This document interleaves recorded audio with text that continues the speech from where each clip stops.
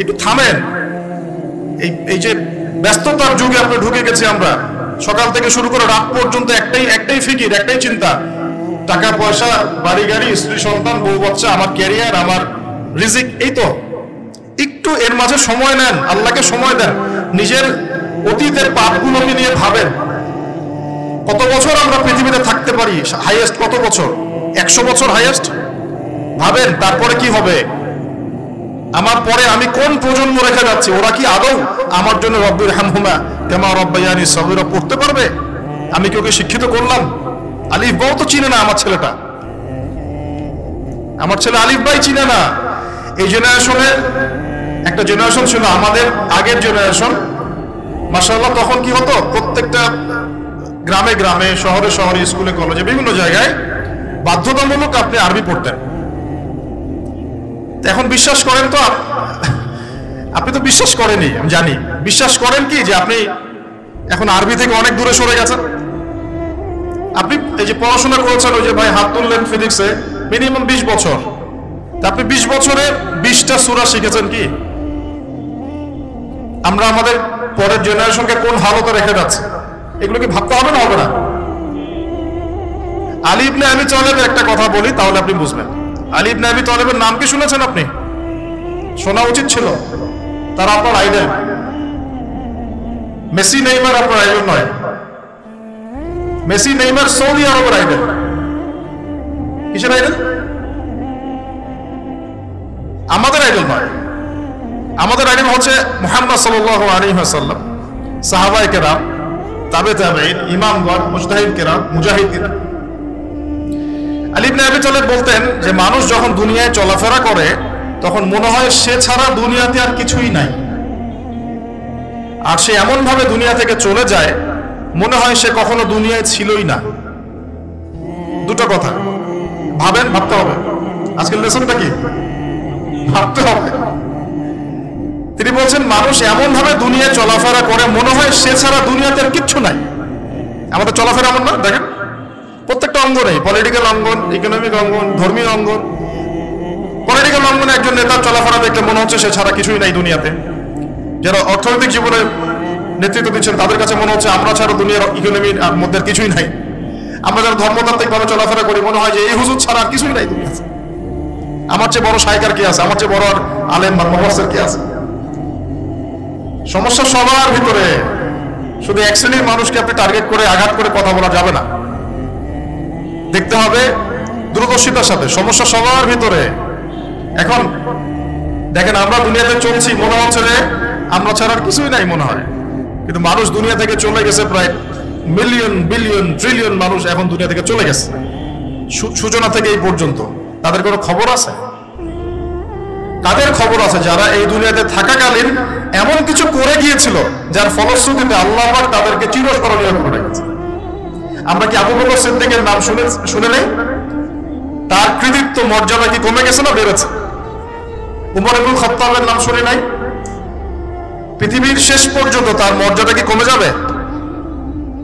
উসমান বিন আফফানের নাম শুনেছেন?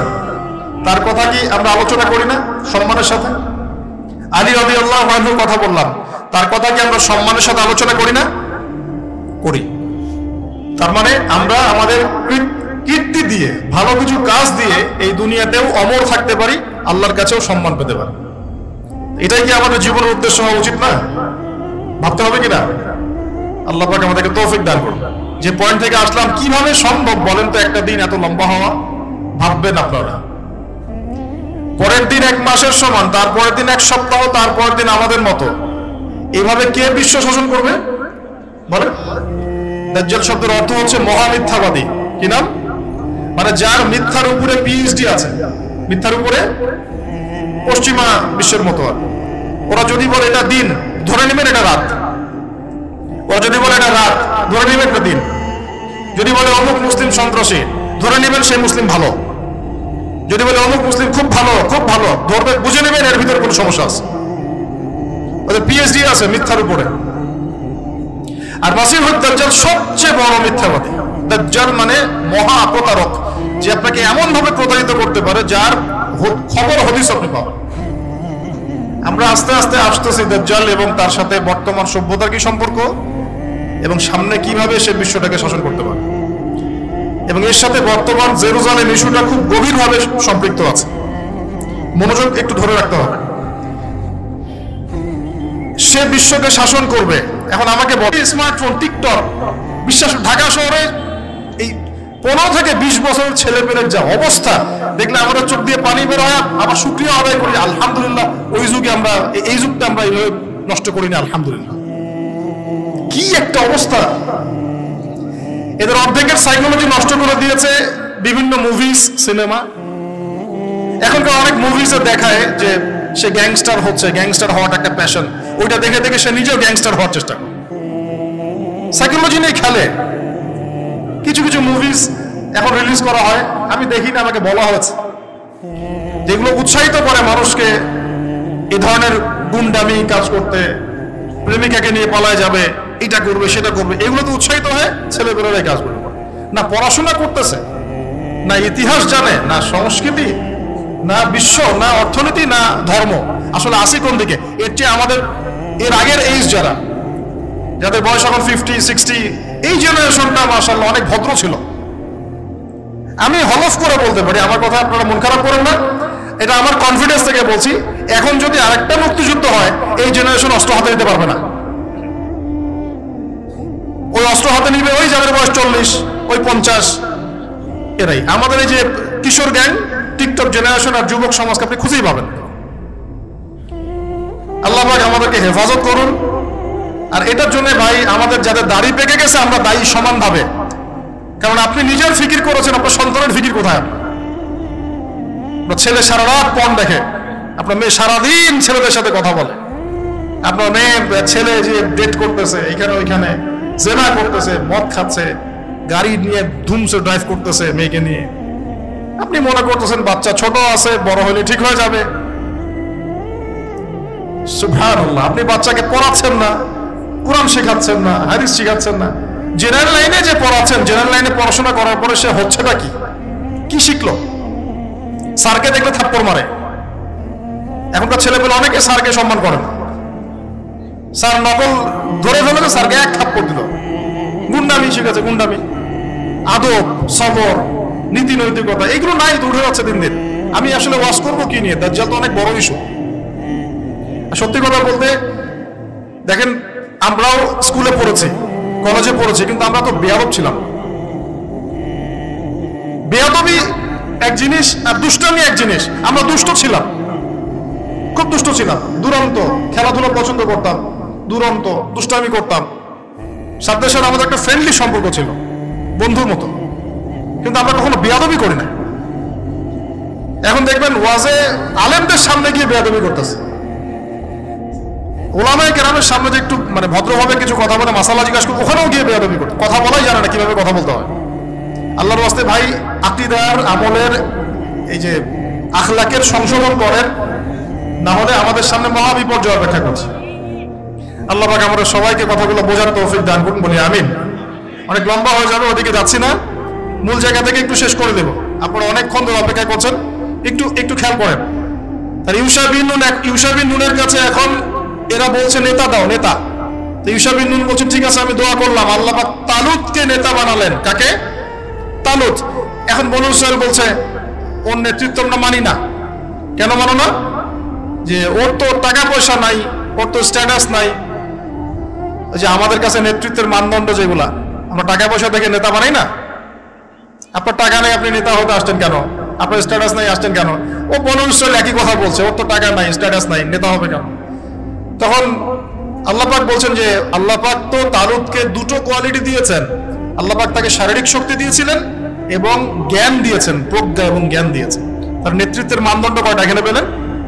দুটা। শারীরিক শক্তি থাকতে হবে ঠিকঠাক ফিজিক্যালি স্ট্রং না হলে তো সে ডিল করতে পারবে না। আর মেধা থাকতে হবে, জ্ঞান। তা আসলে কি এই দুইটা এখন নেতৃত্বের মানদণ্ড? সুহান অদ্ভুত সিস্টেম বিশ্ববাসীকে দেওয়া হয়েছে। বিশ্ববাসীকে একটা অদ্ভুত সিস্টেম দেওয়া হয়েছে। একজন একজন মেজর একজন কর্নেল একজন বিসিএস ক্যাডারের মানুষ, এমন একজন মানুষকে স্যালুট করে যে মানুষটা অক্ষর জ্ঞান নাই নামও স্বাক্ষর করতে পারে। এবং সে বিভিন্ন জায়গায় দুর্নীতি করে আসছে টাকা পয়সা লুটপাট করে আসছে। একজন বিসিএস ক্যাডার এবং একজন আর্মি অফিসার একজন জেনারেল একজন মেজর তাকে সেলুট করতেছে। কি সিস্টেম অথচ তার চাইতে এই ব্যক্তি নেতৃত্ব পাওয়ার অনেক বেশি যোগ্য। জ্ঞান তার আছে এবং শারীরিক শক্তি তার আছে, তার প্রশিক্ষণ আছে, সবকিছু তার মধ্যে আছে। এখানে ইউসাবিন নুন নেতৃত্ব দিলেন কাকে? তালুদকে। ওরা বলল, মানি না। তো আল্লাহ পাক মনোনয়ন করেছেন, এখন না মানলে তোমরা আজাব ভোগ করবা। তারপরে তারা মেনে নিল, এবার যুদ্ধে যাচ্ছে। ওই যে, ওই জেরুজালেম মুক্ত করতে যাচ্ছে। যে জেরুজালেম এখন তারা মুক্ত করতে চাচ্ছে, ওই জেরুজালেম তালুতের বাহিনী মুক্ত করতে যাচ্ছে। বলে তো তালুত এবং বনু ইসরাইল তখন ভালো না খারাপ?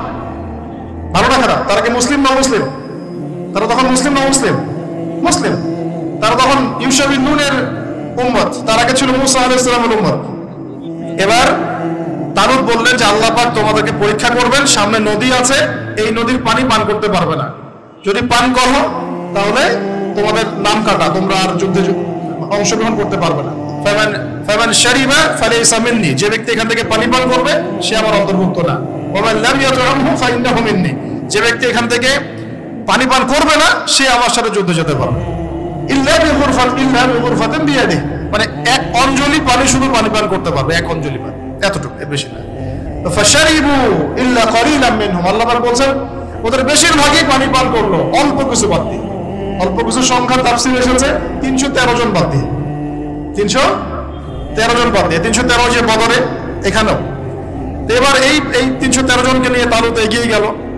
গিয়ে দেখল বিশাল বাহিনী, বাপরে বাপ, একদম আমালেকা সম্প্রদায়ের।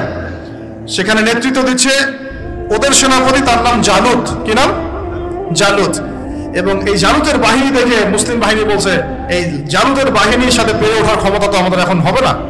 কিন্তু যারা ভেবেছিল যে আল্লাহর সাথে সাক্ষাৎ করতে হবে, যাদের ইমান দৃঢ় ছিল, তারা বলেছিল কাম মিন ফিআতিন কলিলাতিন গালাবাত ফিআতান কাসীরাতান বিইذنিল্লাহ তোমরা ভয় পেও না।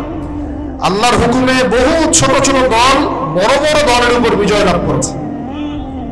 এটা তারা বলে একটা দোয়া করল। এই দোয়াটাও শিখে নেবেন।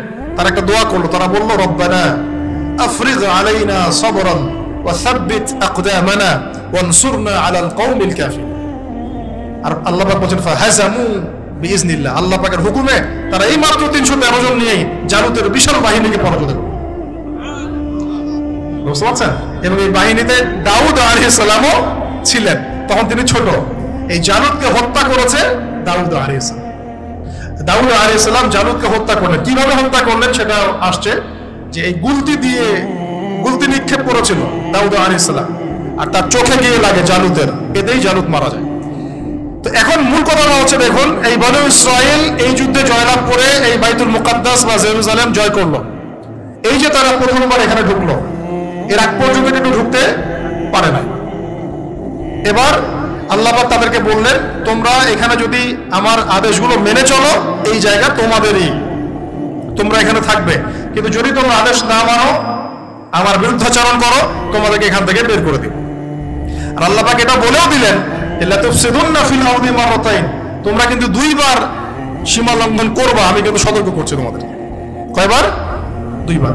এবার দাউদ আলাইহিস সালামের সময় তারা খুব সুন্দর ছিল। একদম রুলিং স্টেট বলা হয় যে দাউদ আলাইহিস সালামের সময় তারা ওই জেরুজালেম থেকে বিশ্বকে শাসন করেছে। ঠিক আছে? দাউদ আলাইহিস সালামের পরে আসলো তার ছেলে সুলাইমান। নাম কি?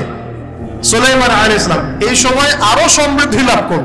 এত সমৃদ্ধি যে বাতাসের উপর নিয়ন্ত্রণ। জিনরা ডুবুরির কাজ করে পাথর এনে দেয়। জিনরা ডুবুরির কাজ করে মনে মুক্ত এনে দেয়। জিনদেরকে দিয়ে এই যে বাইতুল মুকাদ্দাস তিনি নির্মাণ করালেন আবার। তাই না? এই যে বাইতুল মুকাদ্দাসের কথা বলছে। তারপরে বাতাসকে যদি বলেন, এখান থেকে আমাকে নিয়ে যাও। এক মাসের পথ এক বেলায় চলে যাচ্ছে। পিঁপড়া হাঁটছে, সুলাইমান আহ ইসলাম পিঁপড়ার ভাষা বোঝেন। পাখির ভাষা বোঝেন। তারা তেলাওয়াত করেন, মাছ এসে তেলাওয়াত শুনে। মানে এমন একটা সভ্যতা, এই সভ্যতা পৃথিবীতে আসেনি কখন? এবং আপনি যতই সায়েন্স এন্ড টেকনোলজির কথা বলেন না কেন, এই লেভেলে আপনি যেতে পারবেন না। কখনো পারবেন না। কারণ সুলাইমান আল ইসলাম একটা দোয়া করেছিলেন, রব্বি হ্যাভলি মুলকান। আল্লাহ আমাকে এমন রাজত্ব দান করুন, লা ইয়ামবাগি লি আহাদ। যেমন রাজত্ব আপনি কাউকে দেন নাই কখন। পৃথিবীর ইতিহাসে সুলাইমান আলী ইসলামের মতো রুলিং স্টেট কোনোদিনও ছিল না, আসবেও না।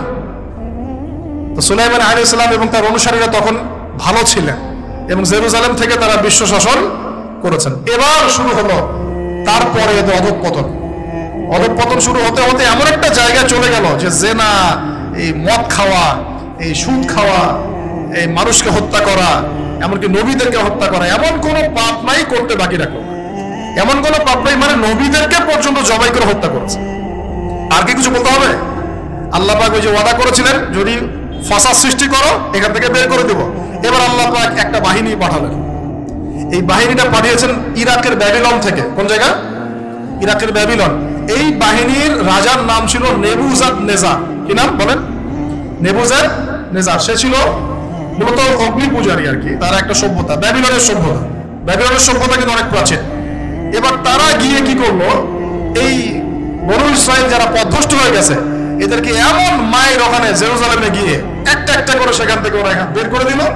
দিয়ে ওদেরকে ওই জেরুজালেমের এই যে মসজিদ, ওখানকার ফল ফসল যা আছে সব ডিস্ট্রয় ম্যাসাকার করে ফেলল এখন ওরা যা করতেছে গাজার সাথে। এরকম কাজ, এর চেয়ে ভয়ঙ্কর। নেবুজাদ নেজার একটা একটা করে ধরে ধরে কেটে কেটে ফেলল আর বাকি যারা বেঁচে ছিল এদেরকে দাস দাস বানিয়ে, শিকল দিয়ে পেঁচিয়ে ব্যাবিলনে নিয়ে গেল। তারপরে দেখেন রুলিং স্টেট থেকে বনু ইসরাইল চলে আসলো এখন কোথায়? ব্যাবিলনে দাসত্বের শৃঙ্খল। আর তাদের ফকর থাকল না। শেষ। কারণ আল্লাহ ওয়াদা করেছিলেন, ভালো থাকলে ভালো থাকবা, খারাপ করলে খারাপ। যেমন আল্লাহ পাক আমাদের সাথে ওয়াদা করেছেন না? উম্মতে মোহাম্মদী যদি আমার আনুগত্য করো, মোহাম্মদ সাল্লাহ আলাইসলামের আনুগত্য করো, তোমরাই বিশ্বের নেতৃত্ব দিবে। আর যদি না করো, ওই যে তোমাদের উপর কাফেরদেরকে চাপাই দিব। তাই না এখন? এরকমই আল্লাহ পাকের সুন্নত একদম সেম ইতিহাস খালি ঘুরছে আর ঘুরছে। কখন ওদের পাল্লে কখন আমাদের পাল্লে বিশ্বের ইতিহাসটা একদম প্যারালাল খেয়াল করে দেখবেন। এবার এই ব্যাবিলনে চলে আসার পরে এরা দাস কাজ করলে খাইতে পারে, না করলে খাইতে পারে না। দেখেন, কোন জায়গা থেকে আল্লাহ কোথায় নিয়ে আসলেন? আজকে আমরা আমরা যে বারোশো বছর ওয়ার্ল্ডটাকে শাসন করেছি, কেউ বিশ্বাস করবে এখন? আমরা যে মুসলিম উম্মা প্রায় বারোশো বছর মোহাম্মদ সাল্লাহ আলী ইসলামের পর থেকে এই বিষয়টাকে আমরা শাসন করেছি, এখন কেউ বিশ্বাস করবে? এখন যদি পশ্চিমারা বলে যে তোমাদেরকে স্যাংশন দিয়ে দিব, ব্যাস, তখন আমাদের দেখা যায় যে সমস্যা হতে পারে। কেউ যদি বলে, তোমরা যদি বাড়াবাড়ি করো, টাকার মান কমে যাবে আমরা বলি, বাপরে বাপ, তাহলে বাড়াবাড়ি করা যাবে না। আমরা কি ওদের উপর রুল করতে পারি এখন? সরাসরি কথা বলেন না, পারি না। পারি না পারি না। পারি না, কিন্তু একসময় পারতাম। পারতাম মানে ওরা জিজিয়া দিয়ে আমাদের দেশে থাকতো। জিজিয়া কর ট্যাক্স দিয়ে আমাদের দেশে থাকতো। মুসলিম উম্মার যখন একটা ইউনাইটেড গ্লোবাল খিলাফা ছিল, তখনকার কথা বলছে। তো এভাবে পালা বদল হয়। তো ওরা কখনো ভাবতে পারে নাই যে ব্যাবিলনে এসে ওইভাবে, এইভাবে জেইলের জীবন কাটাতে হবে। কেন? অবাধ্যতার কারণে। এবার আল্লাহ পাক তাদেরকে আরেকটা সুযোগ দিলেন। কি দিলেন? আরেকটা সুযোগ দিলেন। ব্যাবিলনে বসে বসে ওরা আলোচনা করে যে আমাদের কিন্তু একজন মাসিহ আসবে। কে আসবে? মাসিহ। মাসিহ মানে হচ্ছে ত্রাণকর্তা। এই মাসিহ যখন আসবে, আমরা আবার সেই জায়গা ফিরে পাবো। কি করব আবার? কোন জায়গা বলেন? কোন জায়গা? জেরুজালেম। আবার ফিরে পাবো। বুঝতে পারতেছেন কি ভাই? আলোচনা একটু করি না আমি জানি। বুঝতে পারতেছেন কি? আচ্ছা আমরা আবার জেরুজালেম ফিরে পাবো।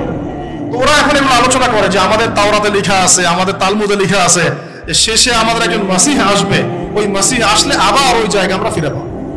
তোমরা টেনশন করো না, হতাশ হয় না। আমরা যেমন বলি না যে এখন দুরবস্থা চলছে, তাতে কি? আমাদের মাহদি আসবেন ইসাব মারিয়াম আসবেন, আবার আমরা খেলাফা ফিরে পাবো। বলি কি না? হাদিসের মধ্যে আছেও। ওরাও এরকম চর্চা করে। করতে করতে আল্লাহ তাদের দিকে মুখ ফিরিয়ে তাকালেন। দয়া করলেন, দয়া করে আল্লাহ মাসিকে পাঠালেন। সেই মাসিহের নাম কি? ঈসা আলহিসাম কিন্তু এই হতবাগা যান ঈসা আলহিসাম যে তাদের মাসিহ, এটা তারা বিশ্বাসই করল না, বরং তাকে জারদ সন্তান বলে গালি পর্যন্ত দিল। জানেন না? মারিয়াম আলী হাসাল্লামকে বলল যে কোথেকে সন্তান নিয়ে আসছো? মনে আছে আপনাদের? নিজেদের মাসিহকে তারা চিনতে পারল। ঠিক আমাদের উন্মতে মোহাম্মদের মধ্যে এমন অনেক মোনাফেক থাকবে যারা ইমাম মাহাদিকে চিনতে পারবে না। দেখিয়ে, ওই সময় যখন মাহাদির বাহিনী বের হবে, বলবে, সন্ত্রাসী বের হয়েছে। ইমামুল মাহাদি মানুষের মুখের ভাষায় কথা বলবেন না, অস্ত্রের ভাষায় কথা বলবেন। জি, হাদিসে স্পষ্ট আছে তোমরা অবশ্যই ইহুদের সাথে যুদ্ধ করো। মুখ দিয়ে যুদ্ধ হয়? ওয়ালা তাকতুলুন্নাহুম, অবশ্যই ওদেরকে তোমরা হত্যা করো। এমনকি যদি গাছের পিছনেও পাথরের পিছনেও কেউ লুকায়, পাথর গাছ কথা বলবে। হাত্তা ইয়াকুলু সাজার গাছ কথা বলবে গার গাছ বাদ দিয়ে। ইয়া মুসলিম, হে মুসলিম, ইন্না তাআল ফাকতুলহু, আমার পিছনে ও আছে, আসো হত্যা করো। বাইরে এখন আল্লাহ পাক রহম করলেন মসিহ পাঠালেন, চিনতে পারল না, বিশ্বাস করল না, তাকে জারদ সন্তান বলে গালি দিল। শুধু তাই না, ঈসা আলী ইসলামকে তারা হত্যার চেষ্টা পর্যন্ত করল। করে না হত্যার চেষ্টা? তারা সুরা মাইদান ইসা পড়ে দেখেন, তারা বলে ফখর করে বলে ইহুদিরা, ইন্না কতালনাল মাসিহ ইবনে মারইয়াম আমরা ঈসা আলাইহিস সালামকে হত্যা করেছি। রাসূলুল্লাহ, যে আল্লাহ রাসূল ছিল, আল্লাহ বলছেন, ওয়ামা কতালুহু তারা তাকে হত্যা করতে পারে নাই। ওয়ামা সালাবুহু তারা তাকে ক্রুশবিদ্ধ করতে পারে নাই। বাল রাফাআহু আল্লাহু ইলাইহি বরং আল্লাহ পাক তাকে তার কাছে উঠিয়ে নিয়েছে। ওয়ালাকিন শুববিহা লাহুম কিন্তু ওদেরকে, ওদের ওরা ধোঁকা খেয়েছিল। মনে হয়েছিল তিনি মনে হয় মাসিহ। আসলে সে মাসিহ ছিল না। আল্লাহ পাক তাকে উঠিয়ে নিয়েছেন। এবং শেষ জামানে তাকে আবার পাঠাবেন কেন পাঠাবেন? কারণ তার কাজ এখনও বাকি আছে। তার কাজ হচ্ছে সত্যিকারের মাসি মিথ্যায় প্রতারক, দাজ্জালকে হত্যা করুন। এবং এই জেরুজালেম থেকে ঈসা আলী ইসলাম আবার ইসলামী খেলাফা বাস্তবায়ন এটা তার কাজ এখনও বাকি আছে। এই কারণে তিনি যখন আসবেন, তিনি বিয়ে শাদী করবেন তার সন্তান হবে, তার ইন্তেকালের পরে তাকে দাফন করা হবে আল্লাহ নবী সাল আলী হাসলামের কবরের পাশে, রওজা মোবারকের পাশে। তার কাজ এখনও বাকি আছে। তারা মাসিকে চিনতে পারল না। এবার আল্লাহ আবার শাস্তি দিলেন। তোমরা সৃষ্টি করবা। এবার কার হাতে শাস্তি দিলেন? এবার রোমানদের হাতে। ওই যে রোমক সভ্যতা। রোমান। রোমানদের ইতিহাস পড়েছেন ওরা সুপার পাওয়ার ছিল রোমানদের যে নেতৃত্ব তার নাম ছিল হ্যাঁ? না সম্ভবত আহ, টাইসার এরকম একজন সেনাপতি ছিল তাদের। আমি নামটা এই মুহূর্তে ভুলে গেছি। তো যাই হোক রোমানরা তখন এসে সত্তর সত্তর খ্রিস্টাব্দের কথা মানে ঈসা আলাহ ইসলামের জন্মের মানে ঈসা আলাহ ইসলামের নবী হয়ে আসার পরে আর সত্তর বছর পরের কথা যখন তারা স্বীকার করল না এই রোমান বাহিনী এসে ওই যে আগে যেমন ব্যাবিলনের বাহিনী গিয়ে ওদেরকে মেসাকার করেছিল এই রোমান বাহিনী গিয়ে ওদেরকে পুরো মেসাকার আবার এই জেরুজালেম ধ্বংস হলো মসজিদ ডিস্ট্রয় হলো ওদেরকে হত্যা করা হলো দাসত্ব শৃঙ্খলা আবদ্ধ করল এভাবে ওদেরকে আবার মেসাকার করা। দুই দুইবার আল্লাহ শাস্তি দিলেন। তবে এবার তারা দাসত্বের শৃঙ্খলা আবদ্ধ হয় নাই, বিশ্বের বিভিন্ন জায়গায় ছড়িয়ে ছিটিয়ে গেছে। কোথাও দশ জন, কোথাও বিশ জন, কোথাও পঞ্চাশ, কোথাও একশো, এভাবে আস্তে আস্তে ছড়িয়ে ছিটিয়ে গেছে। ওরা আর এক জায়গায় থাকতে পারে না। ওদেরই একটা অংশ গিয়ে মদিনায় আশ্রয় নিয়েছে। কোথায়? মদিনা, যার নাম ইয়াসরিফ। ওই সময়কার কথা বলছি কিন্তু, প্রায় চোদ্দশো বছর আগের কথা বলছি আমি, পনেরোশো, হাজার বছর দুই হাজার বছর আগের কথা বলছি। মদিনায় আশ্রয় নিয়েছে তিনটা গোত্র, বনু কুরাইজা বনু কাইনুকা, বনু নাজির। আমার সাথে বলেন একটা, বনু কুরাইজা বনু কাইনুকা, বনু নাজির। কোথায় আছে ওরা বসে? মদিনায়। কেন মদিনায়? কারণ ওই যে তাওরাতে আছে। মাসিহকে তো স্বীকার করল না। শেষ জামানে একজন নবী আসবে। সে ওই আরব থেকে আসবে, অপেক্ষা করছে মদিনায় যে সেই নবী আসলে ইসলাম কবুল করে আমরা আবার সমৃদ্ধ হব। কথা বুঝতে পারছেন? তার অপেক্ষা করছে ওখানে মোহাম্মদ সাল্লাহ আলী হাসাল্লামের জন্যই। আল্লাহ নবী আসলেন, তেরো বছর মক্কায় দাওয়াতি কাজ করলেন, করে মদিনায় হিজরত করে গেলেন, তাদেরই দরজায় গেলেন, তাদের সাথে দেখা করলেন, তাদেরই কেবলায় সতেরো মাস নামাজ পড়লেন। তাদের কেবলা মানে বাইতুল মুকাদ্দাস বা ষোলো মাস বা সতেরো মাস নামাজ পড়লেন। কিন্তু তারপরেও ঠিক যেমন করে তারা ওদের মাসিদকে চিনতে ব্যর্থ হলো, একইভাবে তারা মুহাম্মদ সাল্লাহ আলী হাসাল্লামকেও চিনতে ব্যর্থ। না মাসিদকে গ্রহণ করল, না মুহাম্মদ সাল্লাহ আলী। ব্যাস। এরপরে শত্রুতা শুরু হলো, আপনারা জানেন। আল্লাহ নবীকে বারংবার তারা হত্যার চেষ্টাও করেছে। আল্লাহ নবী বনু নজিরের দেয়ালে হেলান দিয়ে আসেন উপর থেকে পাথর ফেলে হত্যা করার চেষ্টা করা হয়েছে। খাইবারে নবী যুদ্ধ করতে গিয়েছেন, তাকে বিষ পান করে হত্যা করা, প্রয়োগ করে হত্যা করার চেষ্টা করা হয়েছে। তাহলে ওদের চরিত্র কি বদলালো? বদলিয়েছে বদলায় নাই? আপনারা কি ওদের পটভূমি বুঝতে পারছেন ইতিহাস? এবার নবী সাল্লাহ আলী হাসলামকে আল্লাহ যুদ্ধের আদেশ করলেন। আল্লাহ নবী সাল্লাহ আলী হাসলাম একটা একটা করে ইহুদি কমের এগেস্টে যুদ্ধ করবে একটা একটা করে। প্রথমে বনু কুরাইজা বনু কাইনুকাকে বের করে দেওয়া হলো। তারপরে বনু নাজিরকে বের করে দেওয়া হলো। তারপরে বনু কোরাইজাকে বের করে দেওয়া হলো। সর্বশেষ খায়বারে গিয়ে একটা একটা করে ইহুদিকে ওখান থেকে বের করে দেওয়া চারটা গোত্রকে বের করা হয়েছে। প্রতিটা বাড়ি ওদের খেয়ানতের কারণে মদিনা সনদের চুক্তি ভঙ্গ করার কারণে। ওদের চরিত্রটাই এমন ছিল। আমরা চুক্তিবদ্ধ ছিলাম যে আমরা তোমাদের সাথে যুদ্ধ করব না, তোমরা আমাদের সাথে যুদ্ধ করবে না। আমাদের শত্রুদের বিরুদ্ধে তোমরা তাদেরকে সাহায্য করতে পারবে না। কিন্তু এই ইহুদিরা কুরাইশদেরকে সাহায্য করে ওদের সাথে আঘাত করে আমাদের বিরুদ্ধে গদ্দারি করেছে। এই কারণ। আমরা কি জুলুম করেছিলাম? আল্লাহ কি জুলুম করতে পারেন? এবার তাদেরকে বের করে শুরু দেওয়াই হয় নাই। আমাদের নবী ওয়াসাল্লাম ইন্তেকালের কয়েকদিন আগে বলে গিয়েছিলেন, ইন্তেকালের কয়েকদিন আগে যে আমার ইন্তেকালের পরে এই জাজিরাতুল আরব থেকে তোমরা ইহুদিদেরকে বের করে দিও। কে বলে গেছেন? আর সেই কমের সাথে এখনকার মধ্যপ্রাচ্যের যে আরব কান্ট্রিগুলো আছে, এরা উপরে না, ভিতরে ভিতরে হাত পেতে আঘাত করে বসে আছে। লজ্জা আমাদের, লজ্জা। ধিক্কার আমাদের। ওদের ওদের প্রত্যক্ষ পরোক্ষ মদদে এই রাষ্ট্রটা টিকে আছে। চতুর্দিক থেকে আট দশটা মুসলিম কান্ট্রি মিলে যদি একত্রিত হয়, ওখানে থাকতে পারতো? তাই মনে হয়? মসনদের জন্য দুনিয়ার স্বার্থে, অর্থের স্বার্থে আমরা এই কাজগুলো করেছি। করে যাচ্ছি এখনও। এখনও করে যাচ্ছি, আতাত। আতাতের হিস্ট্রি বলতে গেলে সারা রাত যাবে আপনাদের।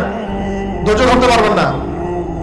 এই উনিশশো সতেরো আঠারো সালের দিকেও এই নাজদিরা, উনিশশো সতেরো আঠারো সালের দিকেও নাজদিরা এই ব্রিটেনের সাথে আতাত করে তুর্কিদের নিয়োজিত যে ইয়ারা ছিল শাসকরা ছিল, তাদের বিরুদ্ধে বিদ্রোহ করে আরব রাষ্ট্র কায়েম করেছে। মুসলিমদের সাথে গাদ্দারি করে, ব্রিটেনের সাথে হাত মিলিয়ে কত কত ডলার কত পাউন্ড জানেন? মাসে মাসে পাঁচশো পাঁচশো পাউন্ডের বিনিময়। এগুলো হিস্ট্রি পড়লে অনেক, বলতে গেলে অনেক সময় ওদিকে যাচ্ছি না, বাদ দেন। আমরা শুধু এতটুকু জেনে রাখেন যে তারা এই জায়গায় আসতে পারতো না যদি মুসলমান মুনাফেকরা ওদের সাথে হাতাত না করত। আল্লাহ নবী তাদেরকে বের করে দিলেন এবং ইন্তেকালের কয়েকদিন আগে বলে গেলেন যে বাকিগুলোকে তোমরা বের করে দিও তাদের সাথে আমাদের আজকে এই আতাত এখন আসেন, এই অবস্থা চলে যাওয়ার পরে মুসলিমরা বিশ্ব শাসন করেছে। প্রথমে চার খলিফার যুগ চলে গেছে, উমাইয়াদের যুগ চলে গেছে, আব্বাসীয়রা চলে গেছে, ফাতিমিরা চলে গেছে, আন্দালুসিয়া চলে গেছে তারপরে মামলুক শাসন চলে গেছে, মুঘলদেরটা চলে গেছে, তুর্কিদেরটা চলে গেছে।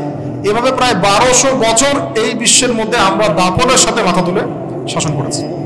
তখন এই বনু ইসরায়েলরা তার বনু ইসরায়েল নাই। এরা হয়ে গেছে ইহুদি। কি হয়ে গেছে? ইহুদি। এবং এরা কিন্তু ওই জেরুজালেম দখলের পায়ে তারা ছাড়ে নাই। তাহলে এবার কি করল তারা? এবার এই যে, এই জায়গা থেকে বোঝেন শেষ অংশ এটা। এবার উনিশশো চোদ্দ সালে চলে আসে। কত সাল? উনিশশো সাল। বোজনিয়ায় আমরা বলি যে সামার অফ নাইনটিন ফোরটিন। বোজনিয়াতে রাজা এক- একজন রাজা হাঁটছেন রাস্তা দিয়ে। এখন ইহুদি এবং খ্রিস্টানদের মধ্যে একটা জোট হয়ে গেল। এর মধ্যে এই জোটের নাম জায়নিস্ট মুভমেন্ট। এরা মনে প্ল্যান করল যে রাজাটাকে শেষ করতে হবে। রাজা ফার্ডিন্যান্ডকে তারা শেষ করল। শেষ করে দিয়ে অস্ট্রিয়া হাঙ্গেরির বিরুদ্ধে রাশিয়াকে লেলিয়ে দিল। এমনভাবে সুরাগ ছেড়ে গেল, প্রমাণ ছেড়ে গেল যেন ওইটা রাশিয়া পর্যন্ত গড়ায়। ব্যাস, এরা যুদ্ধে নেমে পড়ল। এই যুদ্ধে রাশিয়ার পক্ষ নিয়ে নিল ব্রিটেন, তার সাথে আসলো ইতালি, ফ্রান্স। আর এইদিকে অস্ট্রিয়া হাঙ্গেরির সাথে চলে আসলো জার্মানি। এই যে প্রথম বিশ্বযুদ্ধ শুরু হয়ে গেল, ম্যাসাকার অবস্থা। আমরা এগুলো পড়েছি ইউনিভার্সিটিতে, কিন্তু এইটুক পর্যন্ত আমাদেরকে পড়ানো হয়েছে। এর পিছনের গল্প তারা আমাদেরকে বলতে পারে নাই। এর পিছনের গল্পটা আমরা কোরআন থেকে জেনেছি, হাদিস থেকে জেনেছি। এই ফার্স্ট ওয়ার্ল্ড ওয়ারের মূল উদ্দেশ্য এই কয়েকটা মানুষকে মেরে ফেলা ছিল না। উদ্দেশ্য ছিল ব্রিটেনকে, ব্রিটেনের উত্থান এবং ওর হাত ধরে তুর্কিদের বিরুদ্ধে যুদ্ধ করে জেরুজালেমের পুনর- পুনরুদ্ধার। তাই নাইনটিন ফোরটিন থেকে নাইনটিন এইটিনের মধ্যে এই জেরুজালেম তারা আবার দখল করে ফেলল, তুর্কিদের বিরুদ্ধে যুদ্ধ করে। এবং আমি বলেছি কিছু মোনা মুসলিম নামধারী মোনাফেক এদের সাথে যোগ দিয়েছে। এবং এই ডিক্লারেশনটাকে বলা হয় বেলফোর্ড ডিক্লারেশন আপনারা পড়ে দেখেন, বলার সময় এত লম্বা। এটাকে বলে বেলফোর্ড ডিক্লারেশন স্বাধীন ফিলিস্তিন রাষ্ট্রের মধ্যে একটা ছোট্ট ভূ- ছোট্ট ভূখণ্ড তারা চাইলো, দাবি করল। ঠিক আছে? এই ছোট্ট ভূখণ্ডের পরিমাণ ছিল মাত্র ছয় পার্সেন্ট ছয় পার্সেন্ট ছয় সিক্স ওই ছয় হয়েছে এখন সেভেন্টি সিক্স কত হয়েছে? সেভেন্টি সিক্স এই জায়গাটা দেয়া হলো।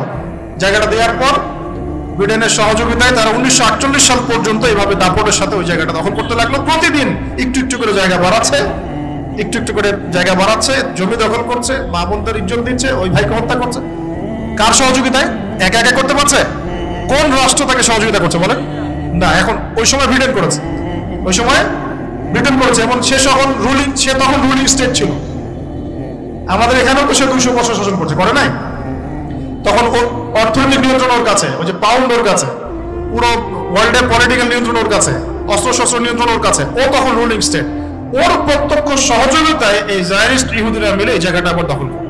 উনিশশো চোদ্দ থেকে আঠারোর মধ্যে। এরপর চলতে লাগল আটচল্লিশ সাল পর্যন্ত। দেখল যে না ব্রিটেনের তো এখন দম শেষ, বয়স হয়ে গেছে। নতুন কাউকে লাগবে। লঞ্চ করা হলো দ্বিতীয় বিশ্বযুদ্ধ। এবং দ্বিতীয় বিশ্বযুদ্ধের পরে নতুন একজন রুলিং স্টেট বিশ্বের বুকে মাথা তুলে দাঁড়াল। যার নাম হচ্ছে ইউএস। ব্রিটেনের রোল শেষ, এখন ইউএস। ব্রিটেন যা করেছিল ওদের সাথে ইউএসএ ঠিক তাই করতে লাগল, ওদেরকে সাপোর্ট করতে লাগল। রহস্যজনক না বিষয়টা? এখন আপনারা মিলাই নিয়ে দাজ্জালের প্রথম দিন এক বছরের সমান কীভাবে, দ্বিতীয় দিন এক মাসের সমান কীভাবে?